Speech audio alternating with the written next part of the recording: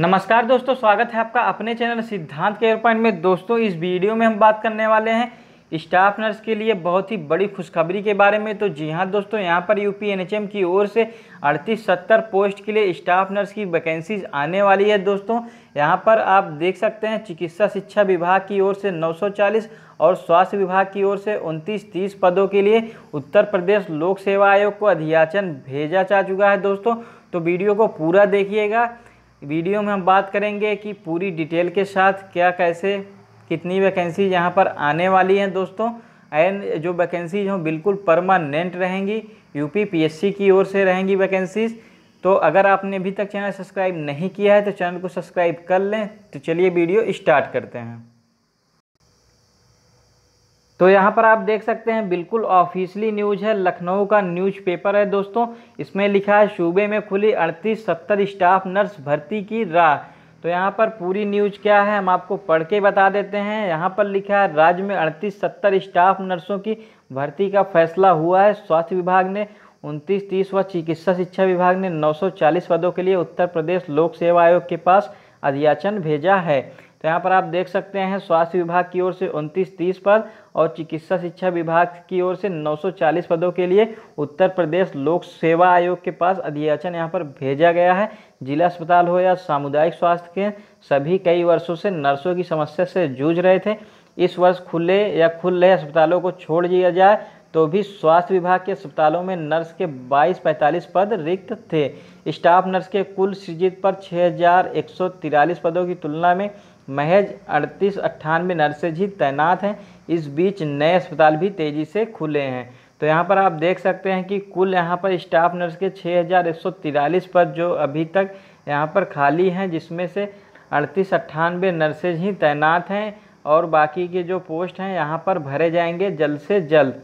तो यहाँ पर आप देख सकते हैं, लिखा है, नर्सिंग सेवा नियमावली बदलने के बाद इनकी भर्ती का जिम्मा उत्तर प्रदेश लोक सेवा आयोग को सौंप दिया गया है। प्रमुख सचिव अरविंद कुमार ने बताया कि नए अस्पताल खुलने के बाद बदली ज़रूरतों के अनुसार उनतीस तीस पदों के लिए अध्याचन आयोग को भेज दिया गया है। वहाँ पाठ्यक्रम को अंतिम रूप दिया जा रहा है ताकि परीक्षा के माध्यम से पारदर्शी तरीके से नियुक्तियाँ हो सकें। उधर मेडिकल कॉलेज में जुड़े अस्पताल भी नर्सों की कमी से जूझ रहे हैं। नए खुले अंबेडकर नगर, कन्नौज, जल्लौन, आजमगढ़, सहारनपुर मेडिकल कॉलेज में नर्सों के 433 पद रिक्त हैं। अन्य मेडिकल कॉलेज में 507 पद रिक्त हैं। चिकित्सा शिक्षा महानिदेशक डॉक्टर बी एन त्रिपाठी ने बताया कि 940 पदों पर नर्सों की भर्ती के लिए अध्याचन लोक सेवा आयोग को भेज दिया गया है। वह स्वयं आयोग के अध्यक्ष से भेंट कर जल्द नियुक्ति की प्रक्रिया शुरू करने को कहेंगे। तो जैसा कि आपको पता है, उत्तर प्रदेश में बहुत से जो मेडिकल कॉलेज हैं, नए यहाँ पर खुले हैं, जिसमें कि स्टाफ नर्स के पद रिक्त हैं। तो यहाँ पर चिकित्सा शिक्षा विभाग की ओर से भी 940 पदों के लिए यहाँ पर अध्याचन भेजा गया है आयोग को। यहाँ पर लिखा आ रहा है, संविदा पर तैनात नर्सों को अधिमान। कई वर्षों से नर्सों की कमी से निपटने के लिए स्वास्थ्य विभाग नर्सों को संविदा पर तैनात कर काम चला रहा था। अब स्वास्थ्य भर्ती की प्रक्रिया शुरू होने पर इन्हें अधिमान देने का फैसला हुआ है।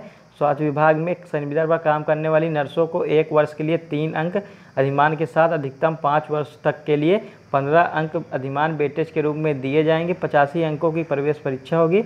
अधिमान मिलाकर मेरिट बनेगी और उसके अनुसार भर्तियाँ होगी। तो जैसा कि आपको पता है, जो भी यहाँ पर अभी कॉन्ट्रैक्ट पर ही यहाँ पर जो वैकेंसी जाती थी तो उसमें जो नर्सेज तैनात थी, उनको भी यहाँ पर बेटेज मिलेगा कुछ ना कुछ परमानेंट होने के लिए। तो अगर आपको वीडियो पसंद आया तो वीडियो को एक लाइक ज़रूर कर दें।